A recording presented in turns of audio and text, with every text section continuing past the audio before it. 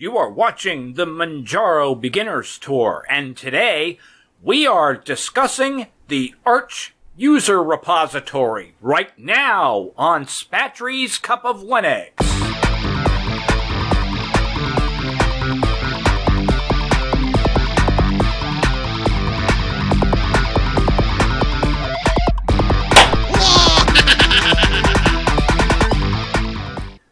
Right, we've made it to the end of the series, and I see a light at the end of the tunnel. It's a train ready to run us over. That's right, if you click the link in the description, it will take you to the Cup of Linux website where I have all the show notes for all the videos in this series.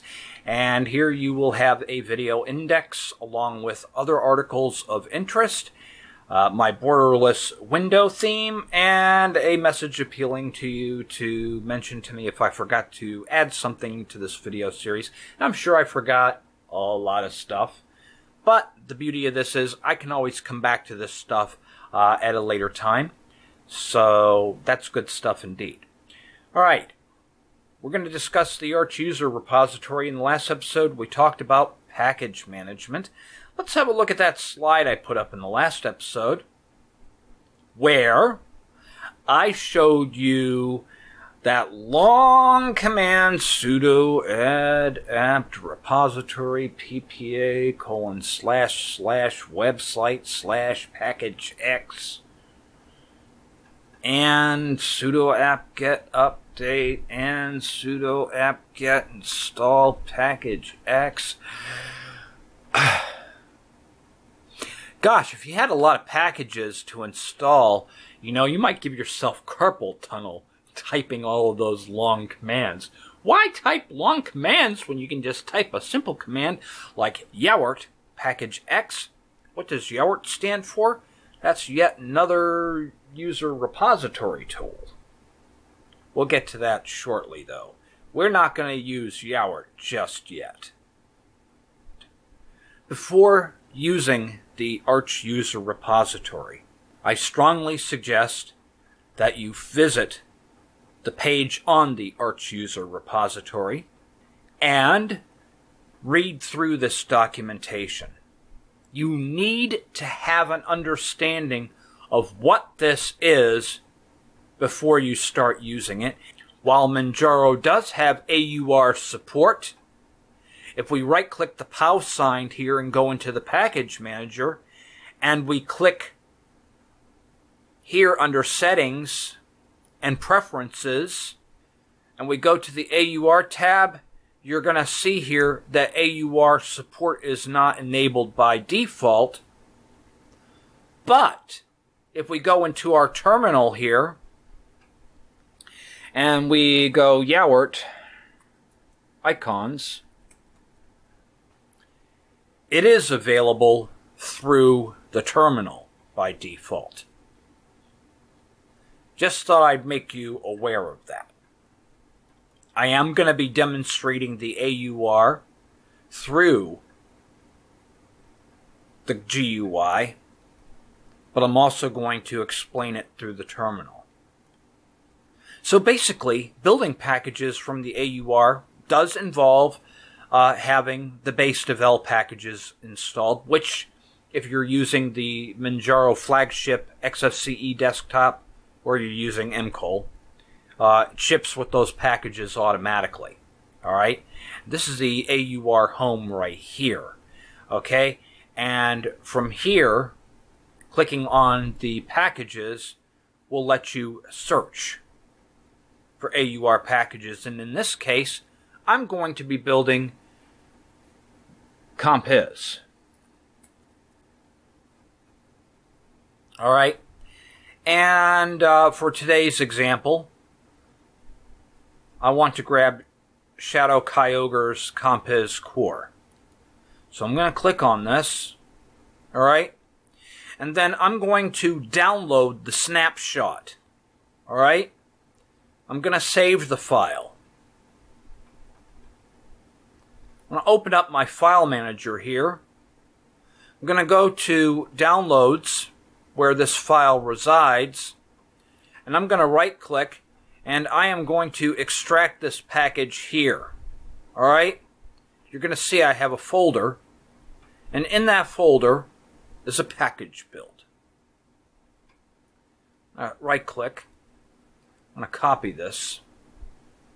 Open up my terminal.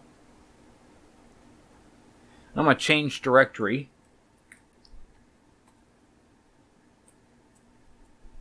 You see, we got our package built in here.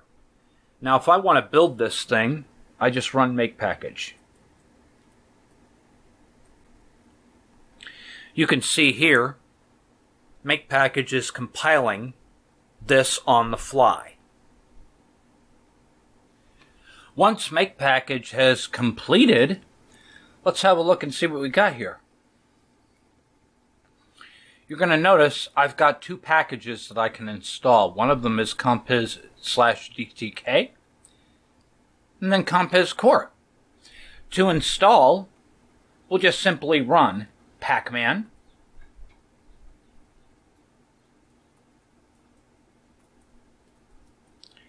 tac capital U. That means upgrade.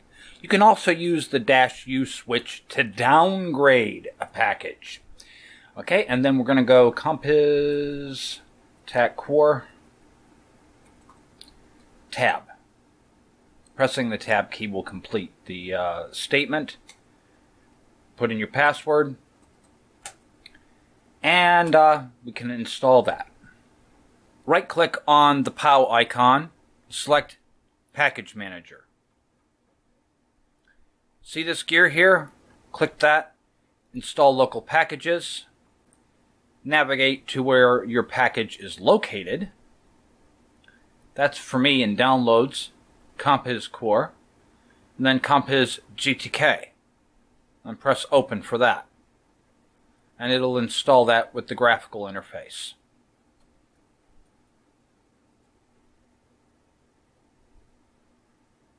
Okay, and our package is installed. Let's get an understanding of what these package builds actually are. Since we built one using make package, let's look at it and see what it is.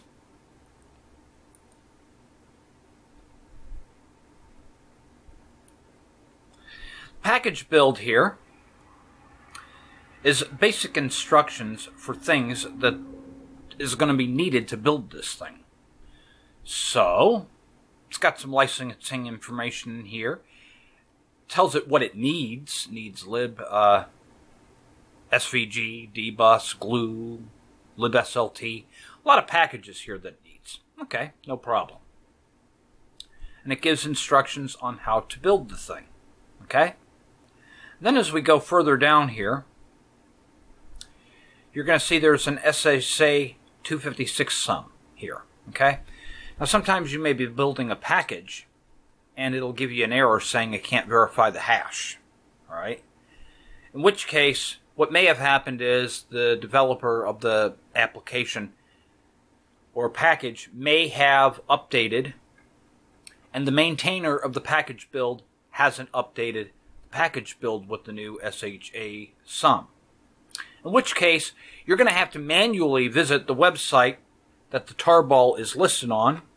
You're going to have to get the SHA sum, and you're going to have to update this data yourself right here before rebuilding the package. That is probably one of the most common errors that I've had.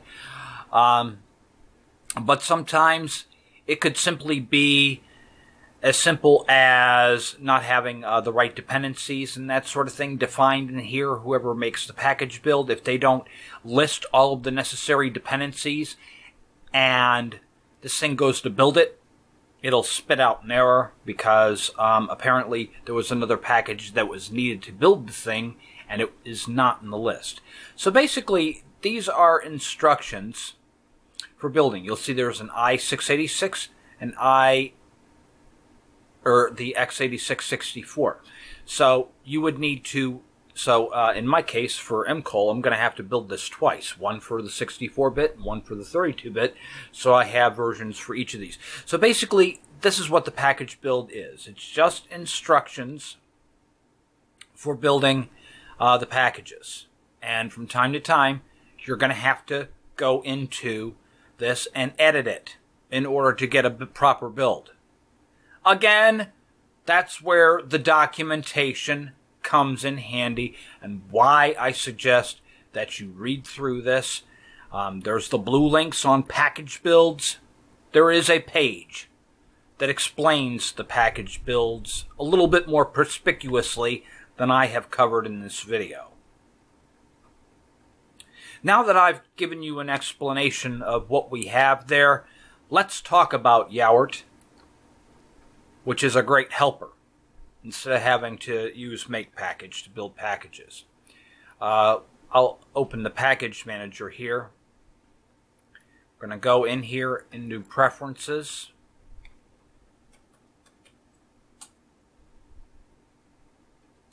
Okay, going to go into AUR, and I'm going to enable an AUR support. You can search AUR by default. I like that one. Check updates from the AUR. I have that one enabled too. But I do want confirmation when building packages. I want to see what's happening step by step.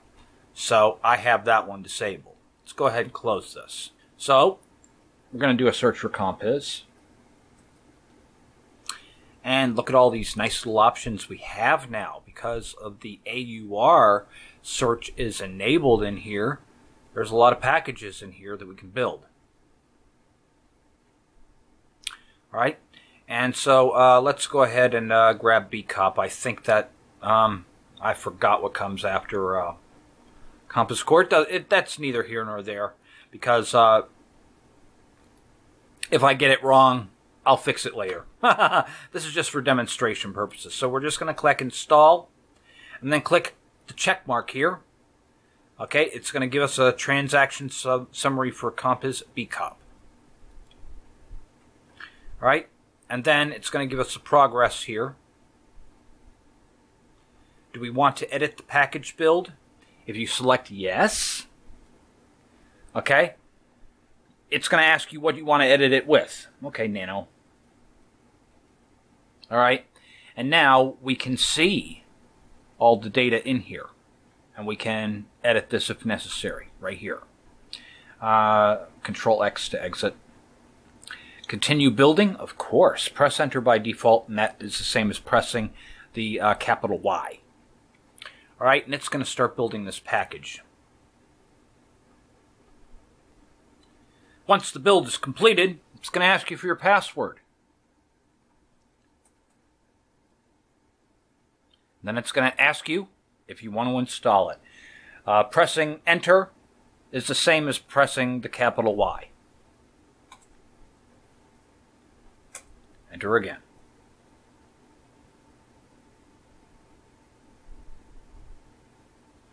The transaction is successfully finished. Let's go ahead and close this.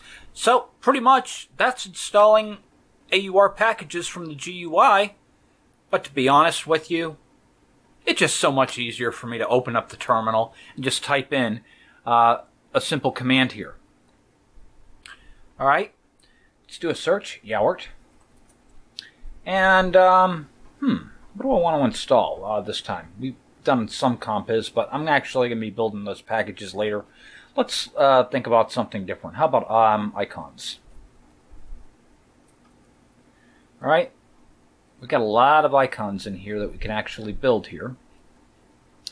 And uh, let's pick one out. Okay, we have uh, elementary USU icons. Hmm, let's try that one. So I'm going to type in 56.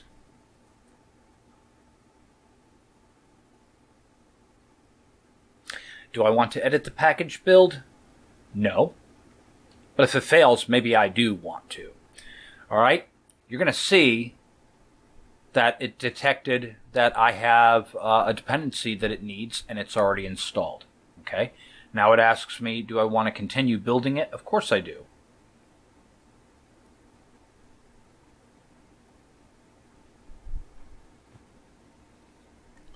Once it's done building, it's going to need your password. Then it will ask if you want to continue installing it. Proceed with the installation. That wasn't too difficult to do at all, was it? So at the end of the day, the Arch User Repository brings an added layer of convenience to Arch Linux and to all of its derivatives, such as Bridge Linux, ArchBang, and of course, what we're using right now, Manjaro. The Arch User Repository is not to be taken lightly, though. There are times you're going to have problems getting some packages to build. And this is why you need to have a strong understanding of how this works. Because if a package build isn't working, you're going to need to go in and fix it. Or, even better, if you have a AUR account, you can report that to the maintainer uh, so that they can look into it and fix it. But this guide here will give you everything you need to know about the Arch user repository, and it also has instructions on building your own package builds. For those of you out there who have that mindset for maintaining packages, uh, this is an excellent guide for you guys to check out. But that's all I have on the Arch user repository. I hope I've given you guys enough food for thought to get you going on this. I'm going to finish out the series with a surprise video for you guys. You guys gave me enough thumbs up uh, there's enough of you who want it. So I'm going to finish out the Manjaro Beginners Tour with a net install. Yeah! I know you got a lot of you guys are going to enjoy that. So until then, peace out.